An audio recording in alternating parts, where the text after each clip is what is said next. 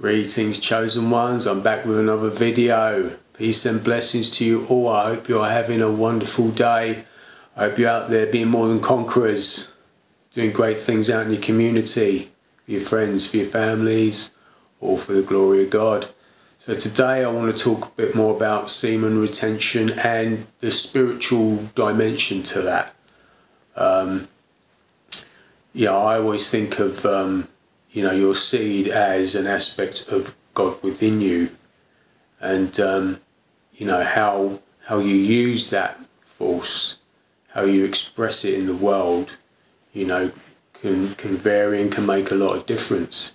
And um, here's an interesting fact: Did you know that in one load there are enough sperm to create 100 million people?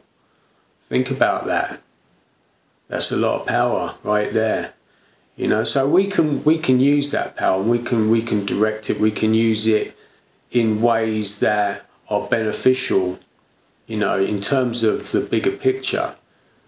Or, or we can use that in in ways that really aren't really benefiting anything and actually in the long term destructive. So if we look at the bigger picture you know we can look at you know um, short term pleasures things like that, and go, well, you know, that's beneficial. But you know, when you when you when you step back and look at the bigger picture of things, you know, you can see that a lot of things that are that seem good, you know, in the short term, are actually you know destructive in the long term. So this ties in with the idea of, of the flesh, you know, the flesh versus the spirit.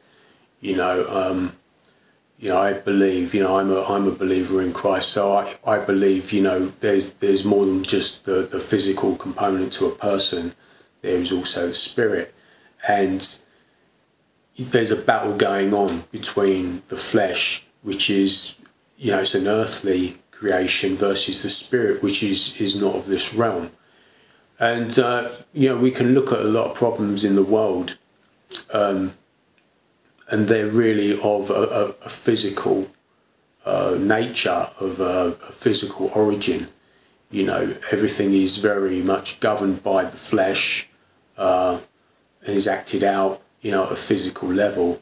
You know, whereas the higher perspective, the bigger perspective is is looking at things from an aspect of the spirit and and saying, well, um, you know, what what is the spirit seeking to do? as opposed to the material, the, the earthly and the flesh. You know, the flesh is very much grounded in, you know, the here and now. You know, it's, it operates at, on a very base level. You know, it's it's always seeking. Um, it's it, it operates from a place of fear, so it's it's operating from a place of survival. You know, um, fear, procreation. Um, you know, a, a place of lack you know, so ultimately a place of fear, whereas the spirit doesn't operate from a place of fear, you know, because it sees from a bigger perspective. You know, the, the spirit realizes there's a spiritual realm and that actually, you know, life in the earthly realm is really just a vapor. System as it stands seeks to keep us in a permanent cycle of confusion and struggle. We can look around at current situations in the world, current things going on, and say, well, we're, we're living in very confusing and volatile times, but that's only really true if we don't have an accurate context to what is actually happening at this current time. There's a top down system of control, and it's aiming to steer the majority off of a cliff. Uh, at the top of that structure of control, I believe, is the devil himself, you know, who is, you know, according to the Bible, the God of this world God of this current age. Secret, I think, really is getting a deeper connection to spirit, you know, really seeking that connection to God, staying grounded in that, you know, then you're not focused on all the madness that is taking part around you all the time, that is constant, constantly clamouring for our attention. You know, look at this fearful thing over here, look at this fearful thing over there you know, we can stay away from all of that. I believe semen retention is is a, good way of, of focusing our attention, you know, away from all the madness of the physical world.